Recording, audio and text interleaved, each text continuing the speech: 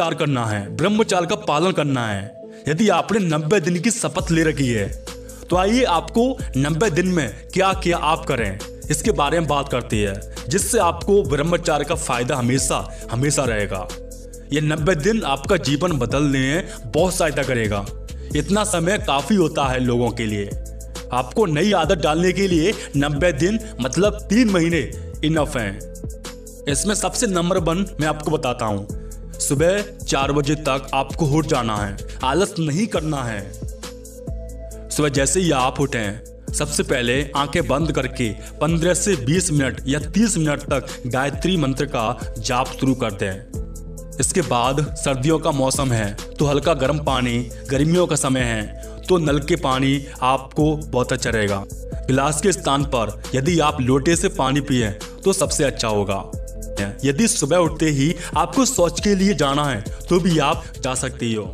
शौच आदि से व्यक्त होने के बाद साफ़ दरी बिछा लें उस पर शांति से बैठ जाएँ, पैरों की एक्सरसाइज करें। ऐसा करने से पैरों में रक्त का संचार अच्छी प्रकार से प्रारंभ हो जाएगा।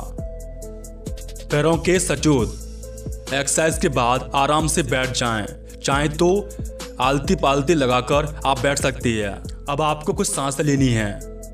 सांसों की एक्टिविटी करना है। जैसे लंबे गहरी सांस लें, छोड़ने की आदत डालें। आप सांस ले सकते हो, छोड़ भी सकती हो। और सबसे मोस्ट इम्पोर्टेंट दोस्तों, आप लगातार अपने लक्ष्य की तरफ़ बढ़ते जाती है।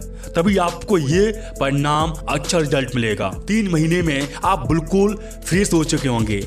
आपको समझ में आएगा कि ब्रह्मचार्य का पालन क्या है। आप मैंने इस वीडियो में आपको बताया है, उस बातों पे हमेशा ध्यान रखना। अगर आपने शपथ ली है कि मुझे कुछ करना है, मुझे शपथ लेनी है तो मुझे उसको पूरा भी करना है। आपको कुछ अलग सा नहीं करने हैं। आपको यही करना है जो मैंने आपको बताया है। और जीवन में आनंदित हमेशा रहोगे। कोई परेशानी नहीं आएगी, कोई भी।